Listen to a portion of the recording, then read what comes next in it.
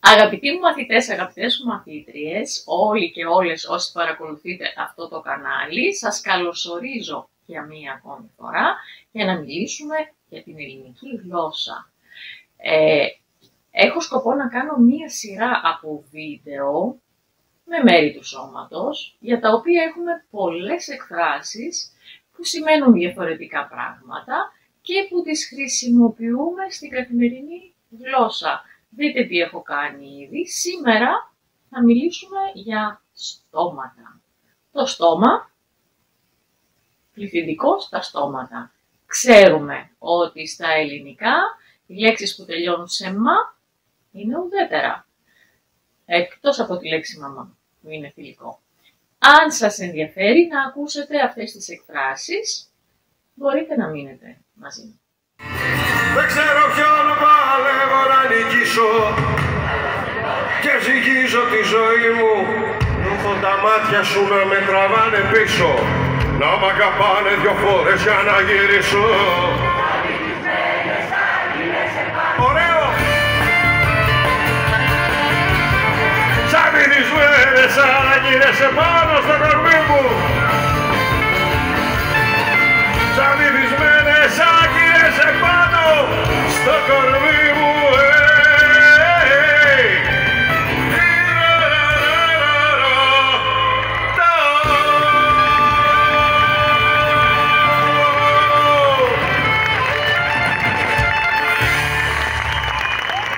Και ξεκινάω γρήγορα γιατί είναι πολλές. Ε, βάζω κάτι στο στόμα μου. Τι κάνω; Τρώω. Πεινάω πάρα πολύ. Από το πρωί έχω να βάλω κάτι στο στόμα μου. Από το πρωί έχω να φάω. Με το έχω, αυτή τη σημασία του έχω, που σημαίνει δεν έχω κάνει κάτι. Ενώ αν πω στέγνωσε το στόμα μου, τι σημαίνει, καταλαβαίνετε, στεγνώνω, σημαίνει δεν έχω καθόλου υγρασία. Πλένω τα ρούχα και τα απλώνω γιατί θέλω να στεγνώσουν, να είναι στεγνά. Στέγνωσε το στόμα μου, δεν έχει καθόλου υγρασία. Άρα τι σημαίνει, σημαίνει ότι διψάω. Πρέπει να πιω νερό οπωσδήποτε. Αν κάποιος όμως έχει ήδη κάτι μες στο στόμα του, τρώει και εγώ του το πάρω από το στόμα, έχουμε μία έκφραση που λέει «παίρνω την μπουκιά από το στόμα κάποιου». Είναι τέτοιος άνθρωπος μπορεί να σου πάρει την μπουκιά από το στόμα. Είναι πολύ κακός. Σου παίρνει αυτό που δικαιωματικά σου ανήκει. Που έχεις το δικαίωμα που είναι δικό σου, αλλά αυτό σου το παίρνει. Ακόμα και την μπουκιά από το στόμα.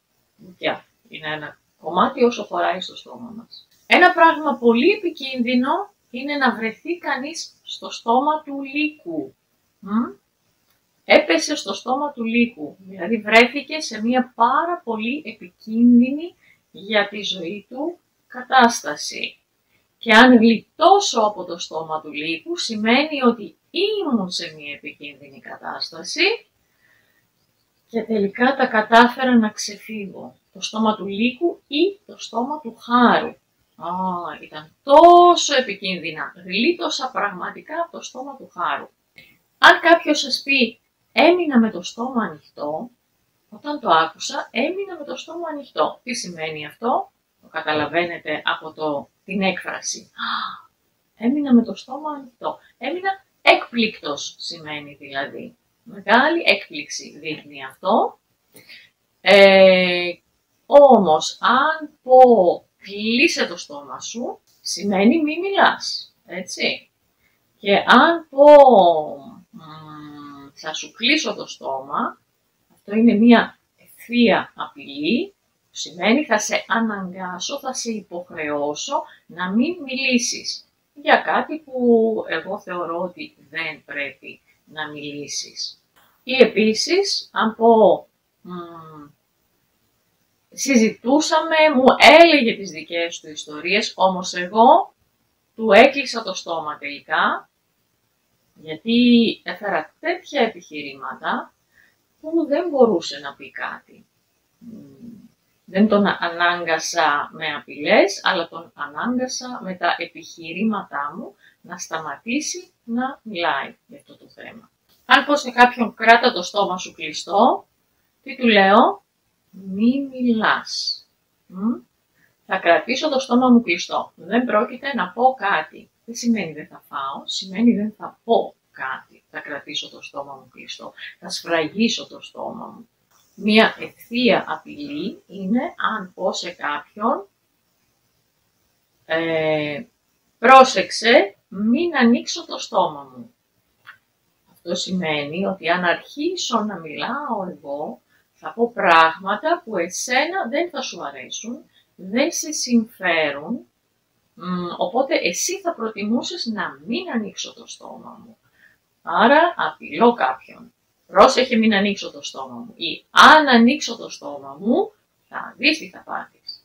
Αν είμαστε έτοιμοι να πούμε κάτι και τη στιγμή που εμείς το σκεφτόμαστε και θέλουμε να το πούμε, ο συνομιλητής μας λέει αυτό το πράγμα.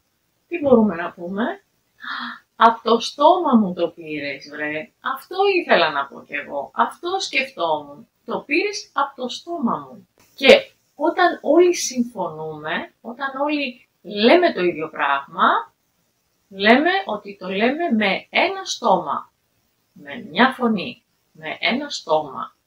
Και όταν κάτι διαδίδεται μια πληροφορία από τον ένα στον άλλον, στα ελληνικά λέμε ότι μεταφέρεται, μαθαίνεται κάτι από στόμα σε στόμα. Τρέχω από το πρωί για να τα προλάβω όλα. Πάρα πολλές δουλειές. Ειλικρινά, είμαι με την ψυχή στο στόμα σήμερα. Ψέματα, σήμερα είμαι χαλαρά. Αλλά αν κάποιος είναι πολύ αγχωμένος, αν κάνει κάτι με μεγάλο άγχος, μπορούμε να πούμε ότι το κάνει με την ψυχή στο στόμα. Πρόλαβα το τρένο τελικά, αλλά με την ψυχή στο στόμα. Όταν κάποιος μιλάει πολύ όμορφα, πολύ γλυκά, με πολύ αγάπη, λέμε ότι μέλι το στόμα του. Και όταν κάποιου το στόμα στάζει μέλι, τότε εμείς οι υπόλοιποι που τον ακούμε κρεμόμαστε από το στόμα του και από τα χείλη του λέμε.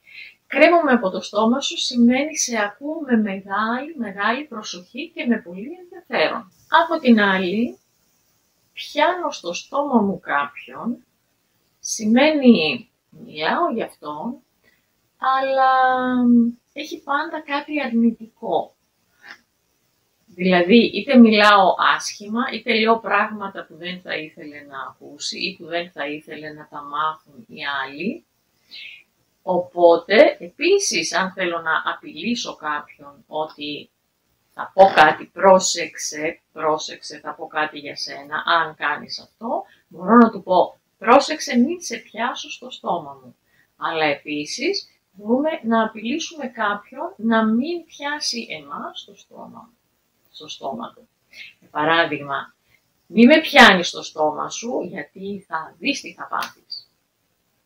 Πολύ απειλητικά ακούγονται όλα αυτά με το στόμα σήμερα, ε. Τι λέτε. Επίσης, ένας πολύ αγενής τρόπος, αγενής, να πούμε σε κάποιον να σταματήσει να μιλάει, είναι να του πούμε βούλωσε το στόμα σου, ράψε το στόμα σου. Βουλώνω κάτι όταν βάζω κάτι μέσα σε μία τρύπα και το κλείνω. Βουλώνω ένα μπουκάλι, βουλώνω ένα βάζο από πάνω. Ράβω, ξέρετε τι θα πει, ράβω, ράβω ένα ύφασμα Οπότε όταν λέμε σε κάποιον ράψτο, πολλές φορές χωρίς να πούμε καν τη λέξη στόμα, ράψτο, βούλωστο, σημαίνει σταμάτα να μιλάς, αλλά είναι πολύ αγενές αυτό. Μία παροιμία.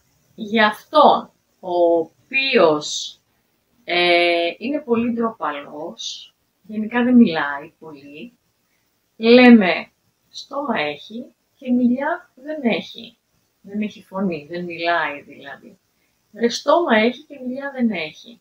Είναι τόσο ντροπαλός, τόσο ντροπαλή.